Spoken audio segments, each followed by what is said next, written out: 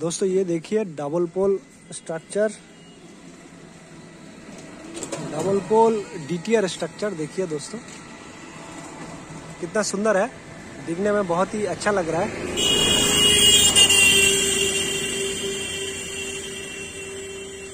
ये जो डबल पोल है दोस्तों, ये कंक्रीट का है। और ये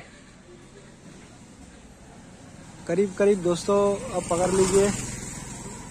ये 11 मीटर का तो पोल है ही। उसके ऊपर से एंगल से और भी ऊँचा किया गया है, ठीक है?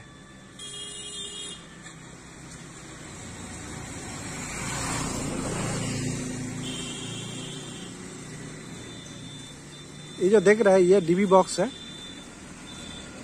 ठीक है? और ये है, ये केबिल है। थ्री फेस लाइन का केबिल है ये, ठीक है? ये जो आप लोग देख रही है केबिल है थ्री फेस लाइन का केबिल है।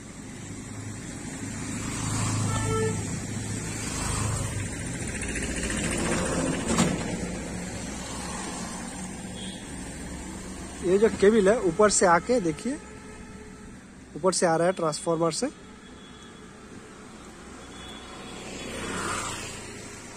ये देखिए, ये जो केबिल है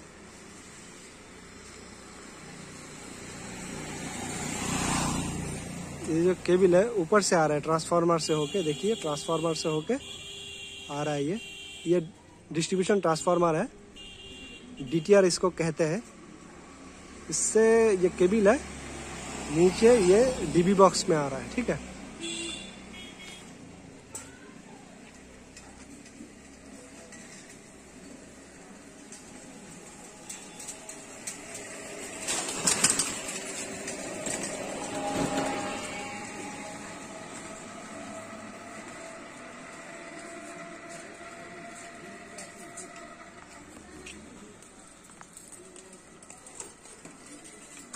ये ट्रांसफार्मर से आ रहा है, ये डीबी बॉक्स में। उसके बाद यहाँ से डीबी से ये जो केबिल है, ये केबिल जा रहा है कहाँ पे देखिए। ये सप्लाई के लिए जा रहा है। ये देखिए, ये जो केबिल है, ये ऊपर से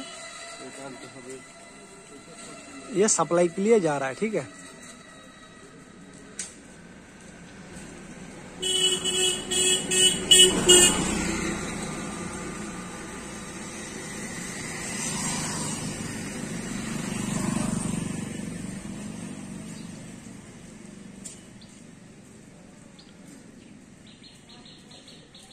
ये 11 मीटर का कंक्रीट पोल है, ये देखिए, कंक्रीट पोल है। और इसके साथ जो एक रॉड है, देखिए, ये आइसोलेटर है। ये आइसोलेटर का हैंडल है। इसके ज़रिए सर्किट को ब्रेक किया जाता है। और ये सब एंगल है। ये एंगल है, ये एंगल है, और ये चैनल है। ये जो चैनल है, चैनल के ऊपर इस ट्रांसफार्मर को रखा गया है।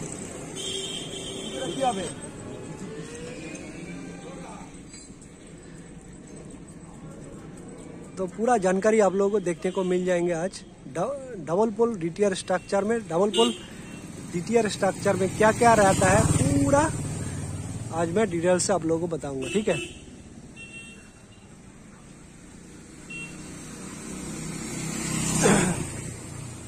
और ये जो रॉड देख रहे हो, ये रॉड मिट्टी के नीचे इंस्टॉल किया गया है और ये सीधा जो वायर है, इसको स्ट्रे रॉड कहा जाता है। इसको स्ट्रे रॉड कहा जाता है। इसके ज़रिए पोल को, ये जो इलेक्ट्रिकल पोल स्ट्रक्चर है, इसको सीधा रखा जाता है। ये स्ट्रे रॉड के ज़रिए।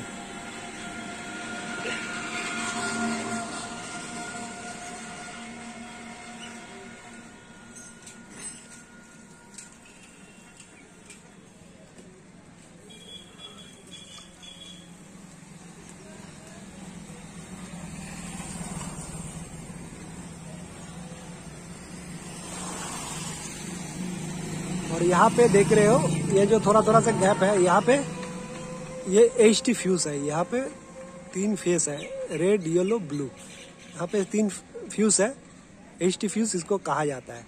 जब ये ओवरलोड के ज़रिए कट जाता है, तब इसको फिर से जोड़ा जाता है।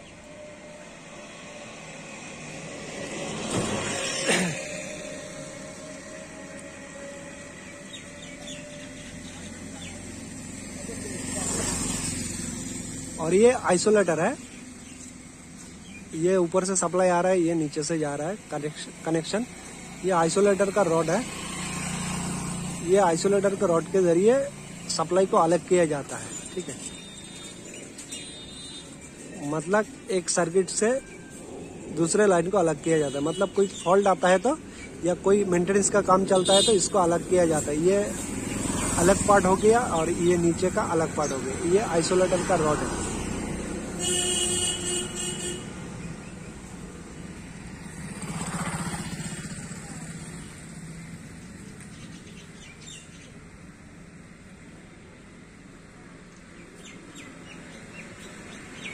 ऊपर से देखिए कैसे सप्लाई आ रहा है।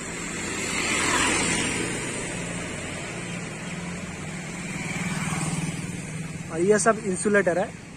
पिन इंसुलेटर एक, दो, तीन। एक, दो, तीन। एक, दो, तीन। ये पिन पिन इंसुलेटर है।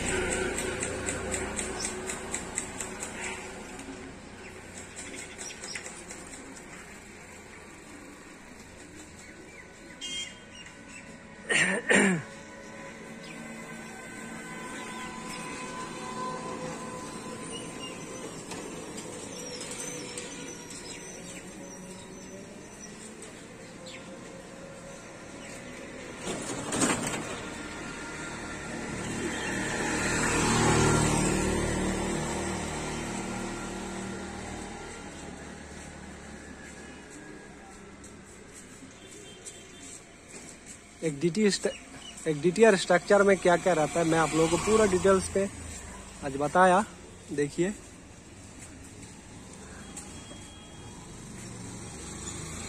इलेवन मीटर का कंक्रीट पोल है इसमें, जो आप लोगों को दिख रहा है, दो कंक्रीट पोल, ये एक पोल और ये एक पोल। और ये डीबी बॉक्स है, यहाँ से सप्लाई डिस्ट्रीब्यूशन होता है।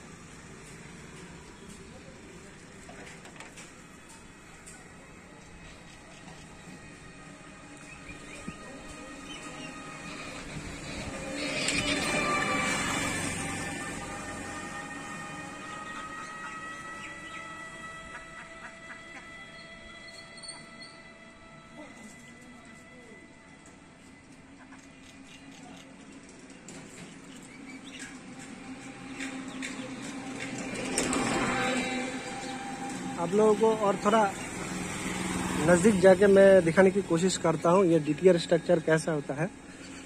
ये देखिए, ये डीबी बॉक्स है। ये डीबी है, इसको डीबी कहा जाता है। ये केबल है और ये इलेक्ट्रिकल पोल है कंक्रीट का। और ये स्टे रॉड है। देखिए, इसको स्टे रॉड कहा जाता है। इसको देखिए मिट्टी के नीचे इसको लगाया गया है। ये इस, इसको स्टे रॉड कहा जाता है। पोल को सीधा रखने के लिए इसको इस्तेमाल किया जाता है। और ये आर्थिंग है आर्थिंग स्ट्रिप है।